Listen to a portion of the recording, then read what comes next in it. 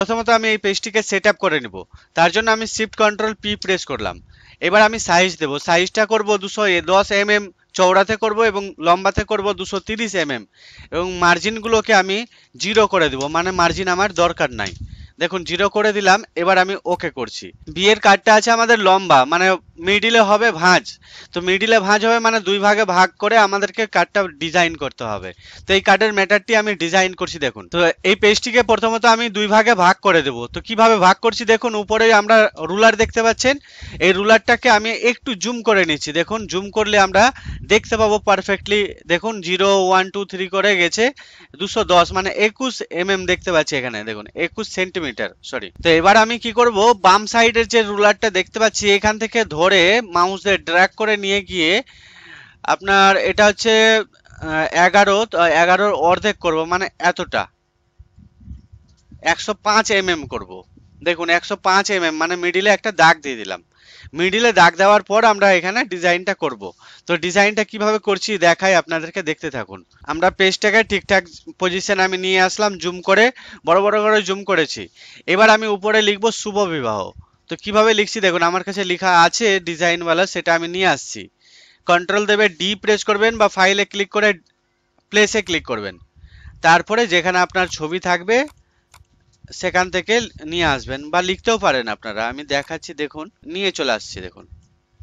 এবার এর মধ্যে থেকে দেখুন, এটা কোয়ালিটি খুব খারাপ। তাহলে কি করব আমি? ফাইলে ক্লিক করে প্রিফারেন্সে যাব দে জেনারেল জেনারেলে গিয়ে হাই রেজুলেশন করব এবং মোর অপশানে ক্লিক করে এটাকে করে দিব রেজুলেশন হান্ড্রেড পার্সেন্ট দিয়ে ওকে করে দিব, এটা ওকে করে দিব। দেখতে পাচ্ছেন? এবার খুব সুন্দর একবার স্পষ্ট দেখতে পাচ্ছি লেখাটা।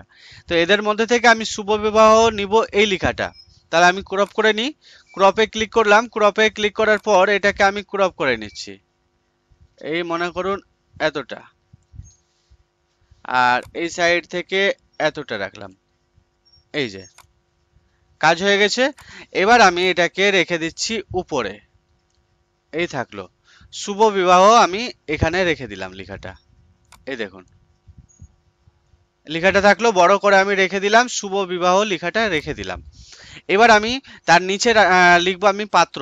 পাত্র লেখার জন্য আমি শেপ ইউজ করছি, দেখুন শেপটা এভাবে টানছি পলিগন শেপ টানার পরে বড় করা আছে আমার, দেখুন রাইট ক্লিক করছি দিয়ে পলিগন সেটিং পলিগন সেটিংয়ে গিয়ে এখানে আমি বাড়াবো। মোটামুটি আঠারো করি দেখি কেমন লাগে। আর এটা স্টার ইনসার্ট এটাকেও বাড়িয়ে দিচ্ছি। এই দেখুন, আঠারো এটা একটু কমাই, সতেরো, আঠারো রাখি আর এটাকে কুড়ি করে দিই। দিয়ে ওকে করছি। দেখুন, আমাদের কাজটা হয়ে গেল। এবার আমি এটাকে কি করব? একটু চওড়া করে দিচ্ছি। এই দেখুন, এইভাবে আমি চওড়া করে দিলাম। দিয়ে এখানে রেখে দিচ্ছি। এখানে লিখব আমি পাত্র। এটা থাকল এই জায়গাতে। আচ্ছা আমি শুভ বিবাহটা আর একটু নিচে নামাই। ঠিক। এবার এখানে পাত্র লিখব। দেখুন, আমার আর একটু বড় বড় করে দিচ্ছি। এই হলো কাজ। এর পাত্র লিখব কীভাবে? না, পাত্র লেখার জন্য আমি টাইপ টুলে ক্লিক করব টেক্সট টুলে তারপরে এখানে সিলেক্ট করে এভাবে টানবো। এখান থেকে বাংলা ফন্ট আমি নিয়ে নেব, বাংলা ফন্ট যে ফন্টে আমি লিখব, তো এখান থেকে আমি নিয়ে নিচ্ছি প্রসেনজিৎ নর্মাল ফন্ট এবং কালারটা কালারটা আমি হোয়াইট করে নিলাম, তারপরে আমি লিখছি, পয়াকার তয়ে রফলা এই দেখুন। পাত্র লেখা হয়ে গেছে। এবার লেখাটাকে কি করব আমি একটু সাইজটা বড় করে দিই।